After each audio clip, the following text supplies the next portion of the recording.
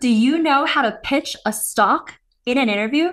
Today, we're going to show you how. So stick around to see how an MD from Citibank Equity Research would answer that question.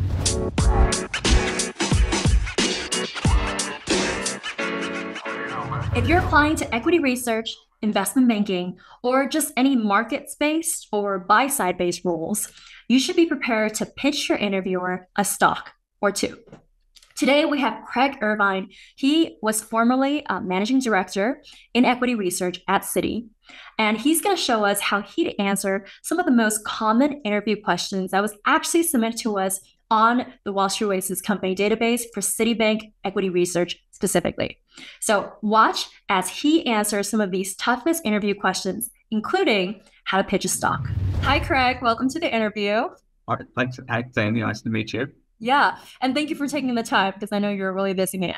Um, so, for the purpose of this, would you give our audience a quick introduction about your background and particularly in equity research? Okay, sure. I, I, I spent a number of years in equity research. I started out covering banks. Most of it was in Asia. My first job was actually in Hong Kong. Um, and I did that for a couple of years. And then I switched to cover telecoms for a number of years. Um, and then I was the head of research in for Asia for Daiwa Capital Markets for about three years.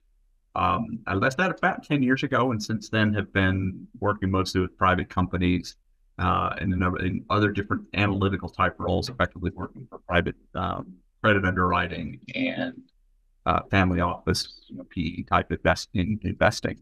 Um, so that I and, and I, I came into equity research largely because towards the end of business school, I just figured out it was the, a great combination for me. Um, you know, I'm very analytical, I'm very quantitative, but I also love sitting across the table talking to people.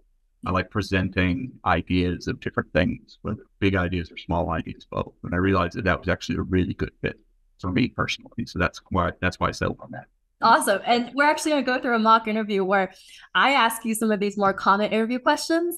And one of them is why equity research. So, um, you know, we're really privileged to have you do this mock interview because it's really, um, I think a lot of the students are interested to hear what someone from a senior level in equity research, um, how they would answer these questions. So let's get started. Are you ready? Yep, already. Okay, so I'll play the role of the interviewer. And um, ideally, you know, our, a lot of our students are folks that are trying to break into equity research. And I know you have a lot of experience already. So if you could think back to, um, you know, for some of these questions where maybe you were in your earlier uh, years in equity research, fresh out of MBA, fresh out of undergrad, um, what would be the best way to answer these questions? That would be really helpful. I'll do my best. All right. So let's start with the first question, which is a very common interview question. Why Citibank? Okay, well, I chose Citibank largely because I had been an analyst for a number of years. I was well into the marketplace, and there are two different banks that needed uh, a telecom analyst in Asia at the time.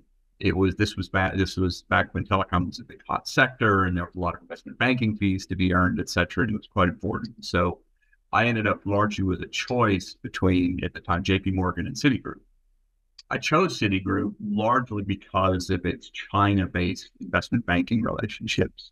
At the time, they had a relationship manager who was actually a niece of Zhao Ziyang, the former vice premier of China, oh. People's Republic. And, you know, part of it came down to just realizing that I think I'd rather you know, line up with them. And this is before the IPOs of China Telecom, before the IPOs of China Netcom or Unicom.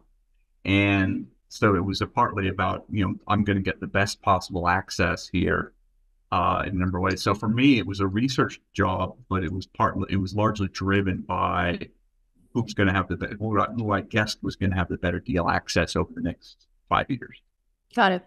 And so uh, this is more of a, a tack-on question to that. You know, for someone who is more junior breaking into equity research, how would they find? Um, this is outside the interview context, of course, but how would they find which which firms had more access? You know, I know that's not something that's publicly available per se. Yeah, it, it's um the the first thing you do is look for the league tables.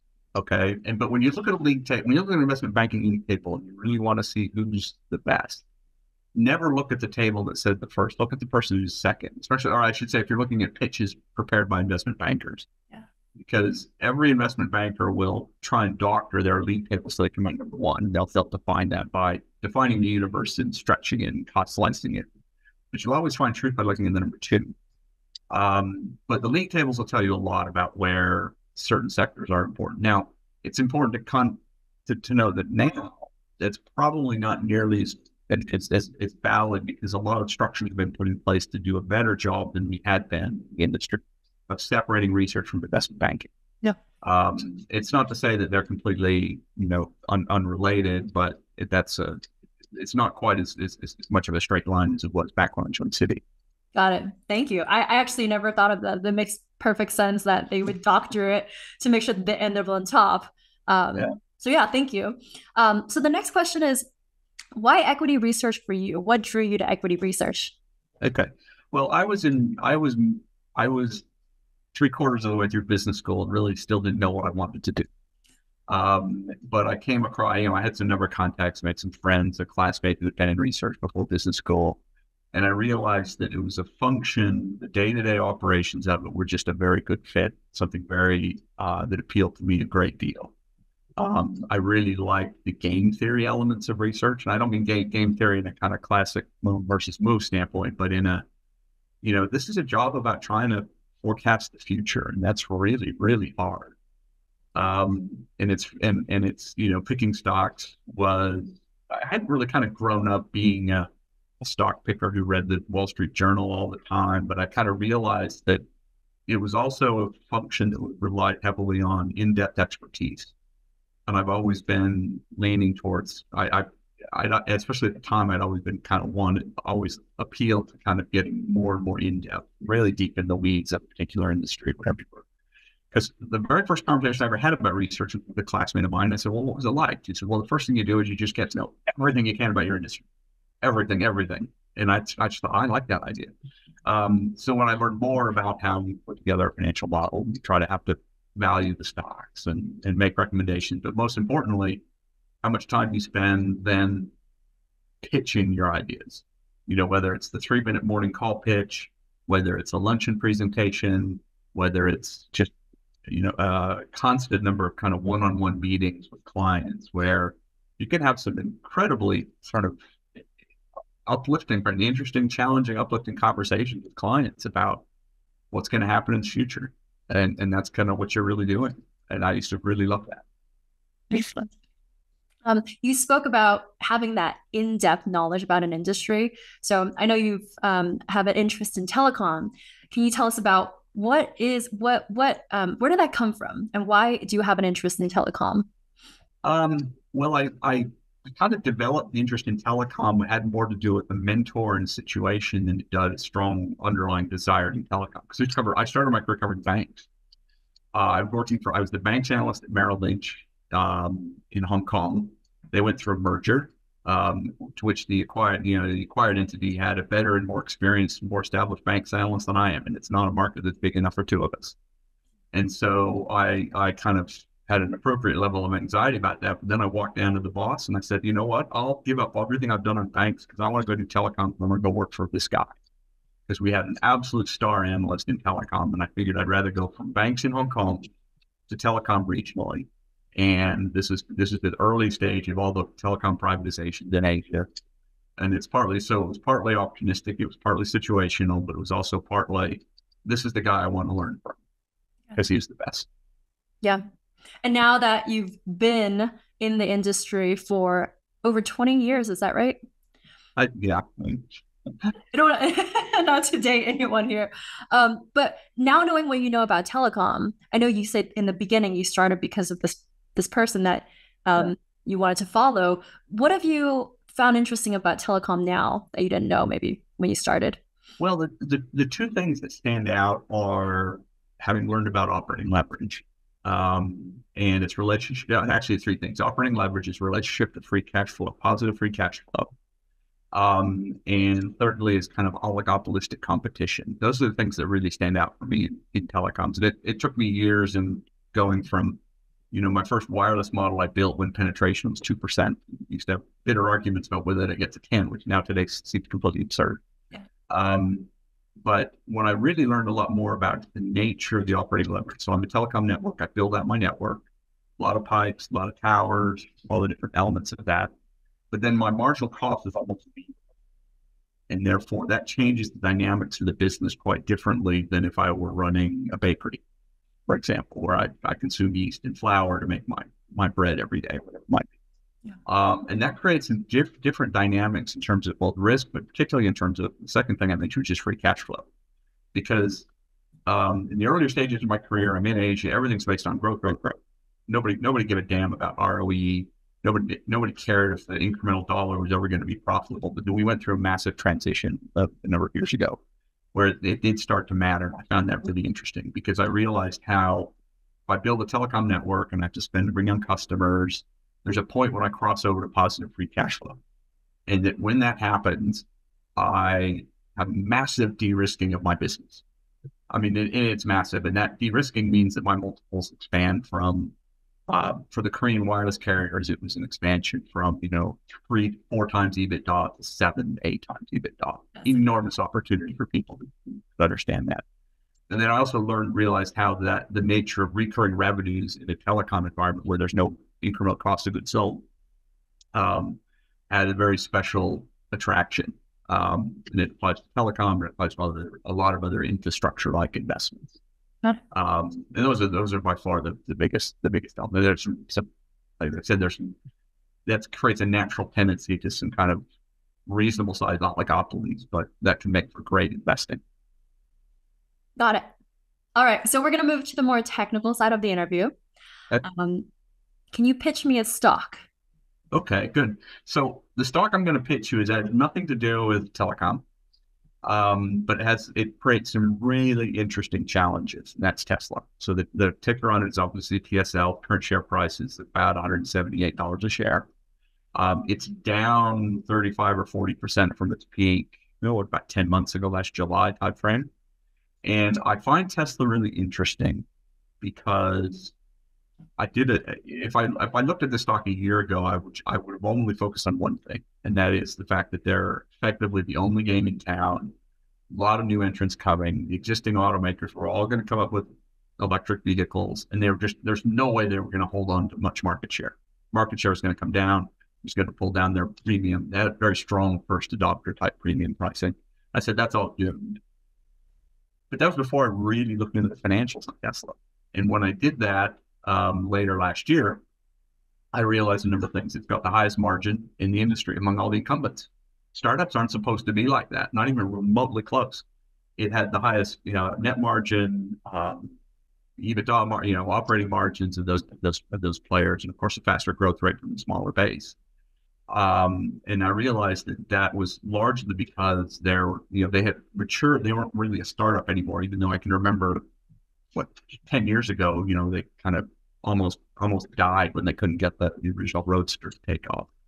Um, and that's when I kind of realized that somewhere along the line of the efficiencies in manufacturing an electric vehicle, they had put enough capital into it that they were basically already the market leader in terms of operating efficiency and everything else. And that's just an enormous factor because for big industrial industries, one of the things you focus on the most is who's the low cost provider. And that, that applies when you're making semiconductors or cars and almost anything. Long run, the low cost provider almost always They are now the low cost provider in that space, at least within the current tradable auto universe. We could get into a long discussion about what's going to happen when Chinese imports start coming to the US later this year. And that's going to be really interesting. So Tesla comes out and they are far better than all their competitors already, even though the startup is supposed to be behind and they're supposed to be burning cash. Tesla generates $4 billion a year in cash right now. Um, in, in, in, free cash flow, and that's that's money that's available to to to reinvest in, to double down, if you will, on on their growth. So that's enough to kind of absorb a lot of market share, absorb a lot of loss of pricing power, uh, and still be leading the market. The real problem with Tesla then becomes valuation. So it's currently trading on a forward PE of about 50, which, you know, there's a point even in my growth, my younger growth days, 50 would have been just like, there's no way you're going to buy a stock at 50 times. Um, however, when you think about the structural opportunity, about 1% of the world's vehicles right now are electric. 1%. And so, and it's pretty hard to argue that over 20 year period, that's going to go to 80 or 100. And therefore, the market opportunity then is so infinite that as long as they don't screw up on the execution, you know, they're very likely to be able to grow into that 50 times valuation. The other comparable is to look at something, a group of stocks that I sometimes refer to as a kind of uh, structural long-term growers, dominant growers. And the, the key the key example in that is actually Amazon. Amazon's been trading on 50 times earnings for 20 years. And so if you get over that that high PE on the valuation, uh, because you consider the long-term opportunity, the fact that they're already leading their their competitors in terms of their their, their cost position, um, it gets very easy to say, sure, they're going to trade 50 or 60 times for the next 20 years. And and that's that get frankly that helps get you over the valuation problem. You know, for, for Tesla. So you know, I'd, I'd be I'd be pretty comfortable buying them for that, right? And especially if it's off thirty five percent. You know, one thing I learned as, a, as, as an equity analyst is, the, is that is you don't you, you want to buy find the great long term buys when they are off by a third, because that's just that's just getting a better price. Excellent. So I'd be a buyer. I'd be a buyer at Tesla right now. I'm sold. Thank you so much for that stock pitch. Um, we're going to wrap it up with one more question, which is more towards the market. So, um, there's a lot of different opinions in the market right now with different thought leaders. What's your personal opinion on whether or not the Fed will experience a hard or soft landing? Well, it's it's um I I i probably rephrase that to what the economy is going to figure a soft landing. I tend to, I'm a pretty mixed mind. I generally lean towards soft landing scenario. And that's because for I've been expecting a recession for some time. That hasn't happened. And the reasons that it hasn't happened might trace back to the kind of, I think, the post, mostly the post COVID labor dynamics. So, at least from my opinion, the single biggest link between uh, inflation, the, the single biggest driver of inflation tends to be a tight labor market you know, globalization has meant that supply chains and all kinds of things have got, you can usually find something better to help stave off uh, the demand problem. But you can if you need to hire somebody. So that point when a business needs to hire, pay more to get their employees to get their product done. But that's true. You're the dry cleaner on the corner, or if you're GM.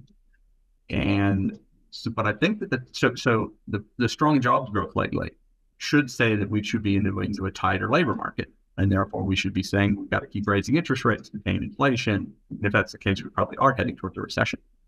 Uh, however, I think that COVID has messed up those dynamics because it took so enough people left the labor force. So it's understated uh, true unemployment. People weren't counted in the in part of the labor force.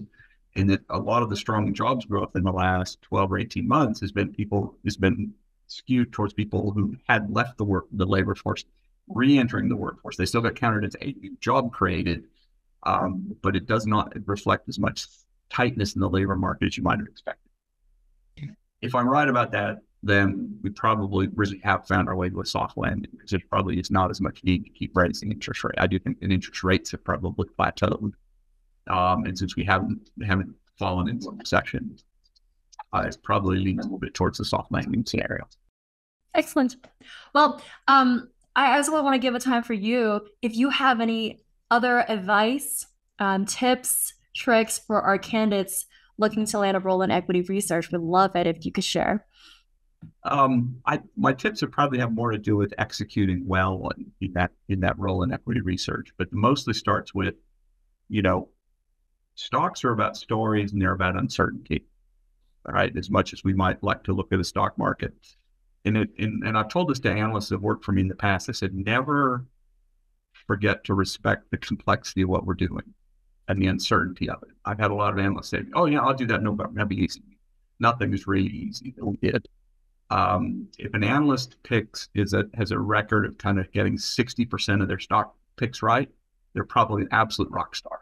It's that difficult to really do it well, and therefore, you know, success isn't necessarily based on um, getting your stock picks right. It's actually more about service um, to the to the clients because I had clients that were deep value investors. I had clients that were strong growth investors. Some that were super technical, some that were big picture, and you had to be able to adapt your story to them. So uh, it's a long way of saying, you know, be flexible and, res- and, and respect the uncertainty that's kind of laid out in front of you. That if you're if you're in that role. Got it. Well, and, then, and be curious that's I'd wrap that up. Just be curious. Yeah. Thank you so much, Craig. We really appreciate your time. Okay. Thanks a lot, Annie. Appreciate it.